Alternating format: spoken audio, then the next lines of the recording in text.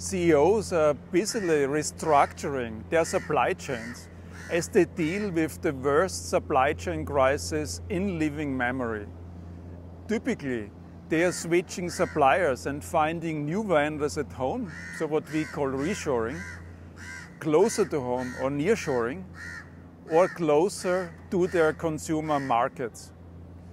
This activity represents a dramatic reversal in the way companies run their businesses.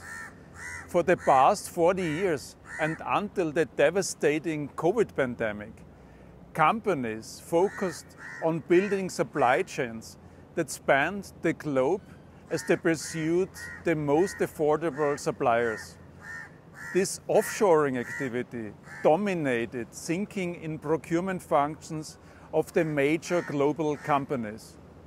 Now, their stated purpose is to secure the supply of essential components and raw materials, affordable energy, and manufacturing services.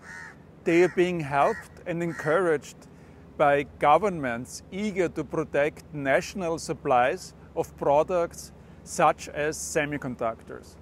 As an example, in July, the US Congress passed the CHIPS and Science Act, which has reserved $52 billion for the microchip industry over five years.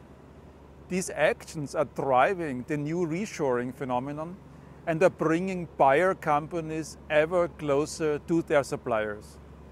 In my view, this is likely to lead not only to greater security of supply, but also to a bumper period of corporate innovation.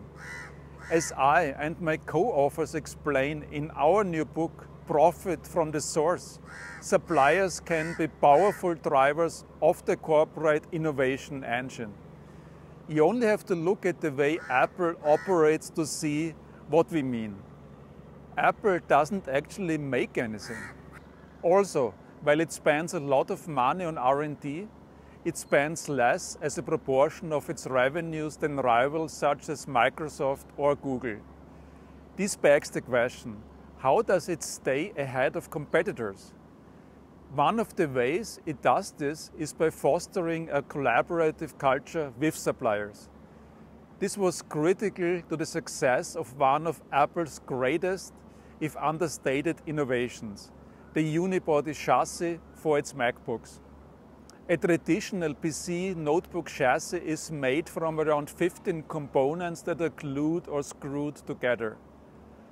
After research and multiple discussions with suppliers, Apple's experts found a way to make chassis that are not only more cost effective, but also smaller, lighter, stronger, and aesthetically more pleasing.